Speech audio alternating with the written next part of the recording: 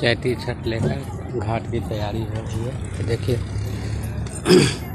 घाट की तैयारी हो रही है।